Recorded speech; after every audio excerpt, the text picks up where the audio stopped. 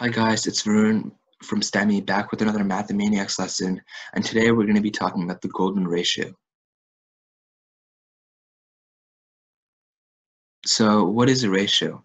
A ratio is the relationship between two numbers, and just like a fraction, it shows how many times that second number can fit inside the first.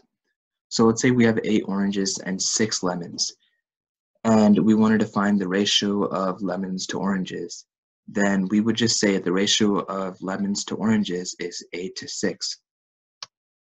So what do you think a golden ratio is?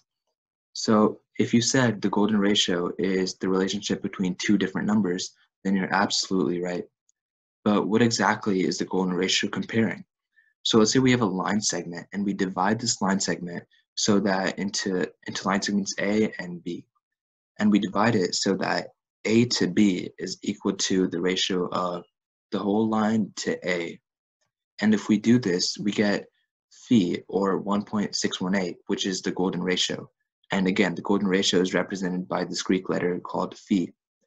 And I'll show you this cool little interactive right here, which I'll link down in the description below so you can play with it after the video.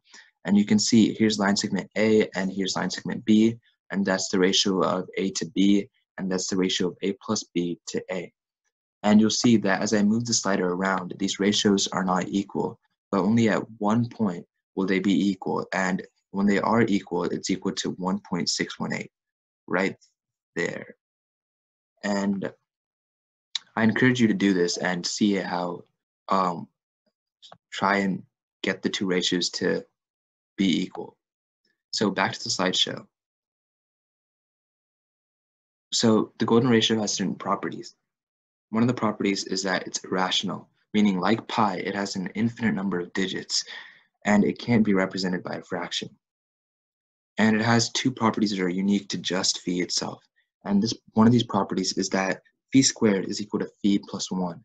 And and also that the other property that's unique to just phi is that 1 over phi, or the reciprocal of phi, is equal to phi minus 1.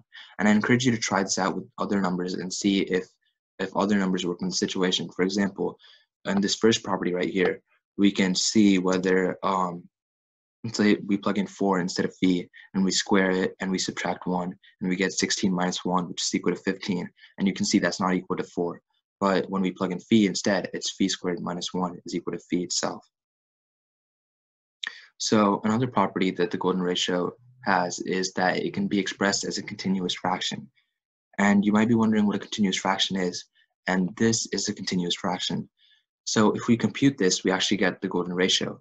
And the further we go down this fraction, the more and more accurate representation of phi we get.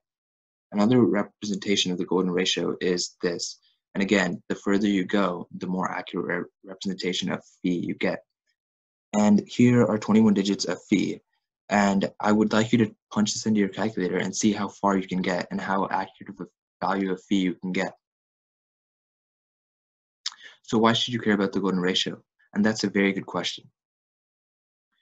So you can actually see golden ratio everywhere around you because artists and architects believe that the golden ratio makes the most pleasing and beautiful shapes.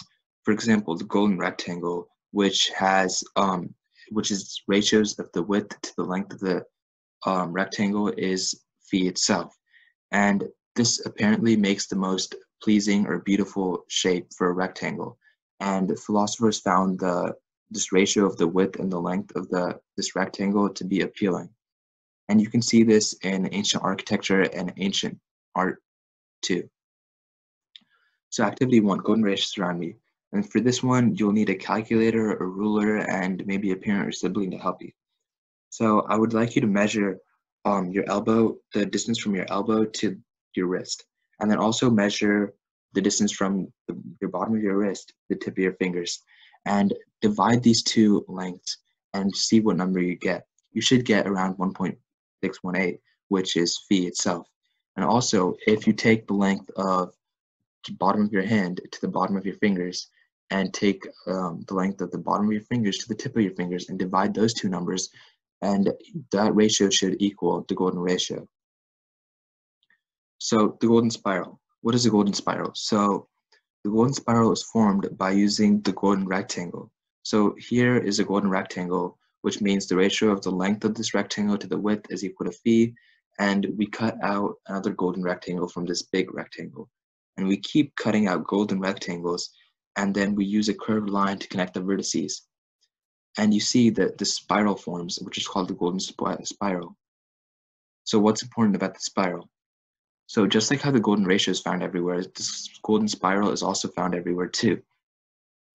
So again, the golden ratio is found in ancient architecture and the human anatomy, and it's also the golden spiral is found in art, as you can see in the Mona Lisa and this Twitter bird right here. And the golden spiral is found in nature everywhere. So you can see the plants budding and this seashell, they're all in the shape of the golden spiral. And it's actually impressive. The golden spiral is found on massive scales as well. You can see it in hurricanes and even in our own galaxy. And even our president's hair is also in the shape of this golden spiral. So I encourage you to go and do this project right here. So this project, for this project, I want you to go outside, take a ruler, take a tape measure, and measure things. So measure your furniture, measure your TV, your phone screens, and use a calculator and divide these and try to see where you can find the golden ratio around you. And make a list of where you can find the golden ratio. And um, maybe type that list in the comments below and leave that list down there. And also, if you would like to make a video about where you see the golden ratio or things that you found interesting about it, you can make a video of that and send it to us, and we'll look at it. So thanks for listening, guys, and um, be tuned and stay here for the additional Math-a-Maniacs lessons. If you have any questions, feel free to leave it in the comments below, and we'll answer them. Thank you.